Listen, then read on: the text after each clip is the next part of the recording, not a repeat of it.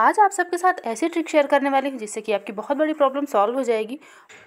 और ये वीडियो शुरू करने से पहले एक छोटी सी रिक्वेस्ट है, अगर वीडियो पसंद आ रही हो तो वीडियो को लाइक और चैनल को सब्सक्राइब ज़रूर कर लीजिएगा, साथ में वीडियो को ज़्यादा से ज़्यादा शेयर कर दीजिएगा।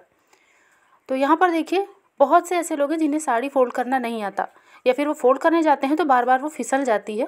तो आप छोटा सा काम कीजिए, अपने किचन में से जाइए और ग्रेटर लेकर आ जाइए। ये जिससे हम ग्रेट करते हैं ना, ये लंबा वाला ग्रेटर आप इसका यूज़ करके साड़ी को बहुत आसानी से फोल्ड कर सकते हैं। बस आपको साड़ी को इसमें एक सिरे को फंसाना है और इस तरीके से आपको इसके अंदर लपेटते जाना है। तो आपका ये काम इतना ईजी तरीके से हो जाएगा ना कि अगर घर में छोटे बच्चे होंगे, आप उनको भी देंगे तो वो भी इसे बहुत ही आसानी से कर पाएँगे और आपकी साड़ी मिनटों में फोल्ड हो जाएगी। बस यहाँ पर मैं आपको इस तरीके से दिखा रही हूँ और आपको दो तीन बार फोल्ड करके साड़ी को झटक लेना है ताकि साड़ी नीचे तक अच्छे से फोल्ड हो जाए। या फिर आप ऊपर की तरफ़ से पूरी साड़ी को खोल के फोल्ड कीजिए। वीडियो बनाना था, इसलिए मैंने यहाँ पर नीचे करके किया हुआ है। तो ये देखिए, इसे मैं नीचे भी सेट कर देती हूँ और ये देखिए, बहुत आसान तरीके से साड़ी फोल्ड हो जाती है। बिल्कुल जैसे दुकानों पर मिलती है ना, उसी तरीके से। अब आप साड़ी को फोल्ड कर दीजिए, जितने भी आपको फोल्ड करके रखने हो, तीन या चार, उसके बाद इसे हाथों से दबाते हुए खींच लीजिए। साड़ी को दबाइए और ग्रेटर को खींच लीजिए। तो लीजिए, आपकी साड़ी फोल्ड हो चुकी है। चाहे कितनी फिसलने वाली साड़ी क्यों ना हो, बहुत आसानी से फोल्ड हो जाती है। ट्रिक पसंद आई होगी तो लाइक, शेयर, सब्सक्राइब ज़रूर कर लीजिएगा। अब यहाँ पे देखते हैं अगली ट्रिक। तो फ्रेंड्स, ये जो चूना होता है ना, जो खैनी वाला चूना होता है, वो हमारे काम बहुत ज़्यादा आसान कर देता है।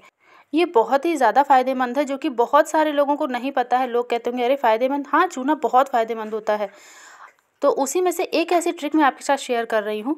तो उसके लिए यहाँ पर मैंने छोटा सा भाग चूने का ले लिया है और एक चम्मच मैंने ले लिया है शहद और इसे अच्छे से आपको फेंट लेना है तब तक जब तक ये बिल्कुल क्रीमी टेक्सचर का नहीं हो जाता।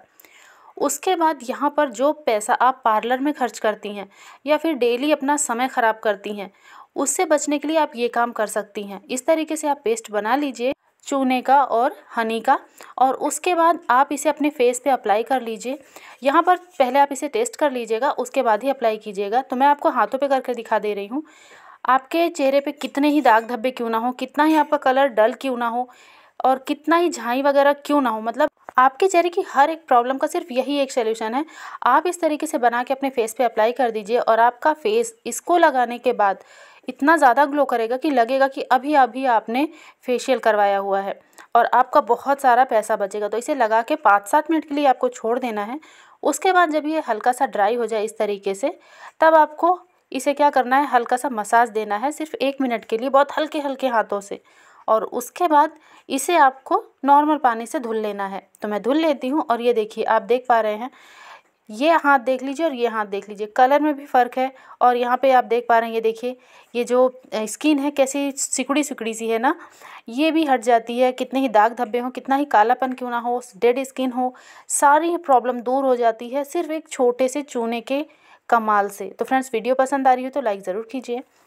अब यहाँ पे देखिए, आपको लेना है एक कप चावल।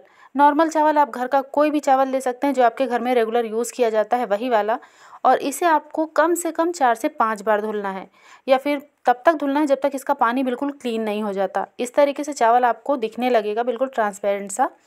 अब इसे आपको कवर कर देना है लगभग एक घंटे के लिए। अगर टाइम नहीं है तो आप तीस मिनट के लिए भी इसे कर सकते हैं कवर। अब यहाँ पर इसे साइड में रखने के बाद मैंने ले लिए हैं सात आठ आलू जो कि छोटे छोटे साइज़ के हैं। और इसे छील कर पानी में रख लिया है और फिर फोक की मदद से इसमें मैंने होल कर लिया है। ये देखिए, इस तरीके से प्रेस होने लगेगा। बहुत ज़्यादा मत कीजिएगा। थोड़ा सा हल्दी पाउडर थोड़ा सा धनिया पाउडर थोड़ा सा लाल मिर्च का पाउडर थोड़ा सा इस पर डालेंगे गरम मसाला पाउडर थोड़ा सा डाल देंगे अमचूर पाउडर। इन सभी मसालों को हम अच्छे से आलू के ऊपर लगा देंगे और उसके बाद इसे हम रख देंगे पाँच से दस मिनट के लिए साइड में, ताकि ये जो आलू है ना, इसके अंदर मसाले अच्छे से कोट हो जाए तो आप देख पा रहे हैं, बहुत ही अच्छे तरीके से मसाला इसके ऊपर लग गया है। अब यहाँ पर हो चुके हैं लगभग दस मिनट, और अब हम लेंगे एक प्रेशर कुकर, इसमें डालेंगे एक चम्मच सरसों तेल, गर्म होते ही इसके अंदर हम डाल देंगे सारी आलूओं को, और इसे हाई फ्लेम पे हम कर देंगे फ्राई, तब तक जब तक इस पर अच्छा सा गोल्डन कलर नहीं आ जाता। और अब डालेंगे इसमें हम नमक स्वाद के अनुसार, और फ्राई करने के बाद आलू इस तरीके से आपको मिलेगा, क्योंकि इसका जो मसाला है वो तेल में निकल जाएगा तो आप पूरा ही तेल इसके साथ निकाल लीजिए। अब इसी कुकर में हम डालेंगे एक बड़ा चम्मच तेल। गर्म होते ही डालेंगे दो लौंग, एक बड़ी इलायची डाल देंगे, एक छोटा टुकड़ा दालचीनी का और यहाँ पर हम डालेंगे पाँच सात काली मिर्च के दाने, एक चम्मच डाल देंगे साबुत जीरा और एक तेज़ पत्ता डाल देंगे। और इसे हम मीडियम फ्लेम पे हल्का सा भून लेंगे। दो प्याज को स्लाइस में कट करके आपको लेना है, ये भी इसके अंदर डाल देना है। और इसे हमें लगातार चलाते हुए गोल्डन ब्राउन होने तक भून लेना है। और प्याज को भूनते समय इसमें आपको डाल देना है थोड़ा सा नमक, जिससे कि ये अगर पाँच मिनट में भुनने वाली होगी तो तीन मिनट में भुन जाएगी मतलब आपका टाइम बच जाएगा। अब यहाँ पे प्याज का कलर आप देख सकते हैं तो इसमें मैंने एक चम्मच धनिया पाउडर, आधा चम्मच हल्दी पाउडर, एक चम्मच लाल मिर्च पाउडर थोड़ा सा गरम मसाला और थोड़ा सा अमचूर पाउडर डाल दिया है। इन सबको अच्छे से आपको लो फ्लेम पे भून लेना है। उसके बाद एक चम्मच आपको डाल देना है मिक्स मसाला या फिर बिरयानी मसाला और इसे हमें अच्छे से भून लेना है लो फ्लेम पे। कुछ सेकंड्स भूनने के बाद इसकी बहुत ही बढ़िया सी खुशबू आना शुरू हो जाएगी तो आप इसमें डाल दीजिए मिर्च अपने टेस्ट के अकॉर्डिंग साथ में आपको जो सब्ज़ियाँ इसके अंदर डालनी हो डाल दीजिए। मैं यहाँ पर गाजर डाल रही हूँ, जो कि लंबे लंबे पीसेस में कट किया हुआ है।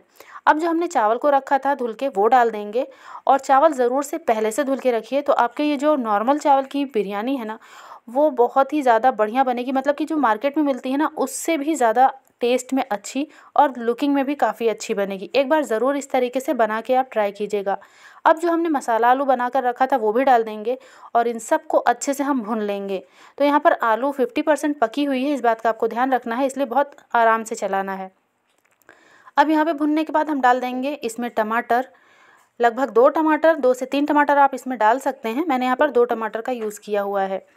अब इसी के साथ इसे भून लेंगे और भूनने के बाद इसमें हम डालेंगे, जितना हमने चावल लिया था ना, उसका डेढ़ गुना पानी। तो मैं यहाँ पर ढाई गिलास पानी डाल रही हूँ। हमने एक कप चावल लिया था तो ढाई कप यहाँ पर मैंने पानी का यूज़ किया है।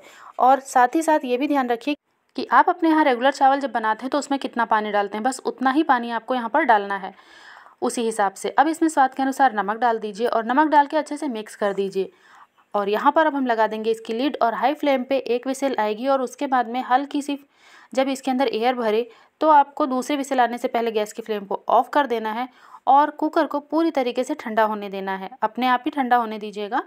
ठंडा होने के बाद आप इसे खोलेंगे तो आपका मन बहुत खुश हो जाएगा, क्योंकि यहाँ पर देख के आपके मुँह में आने वाला है पानी। एक एक दाना खिला खिला अलग अलग आपको दिख रहा है।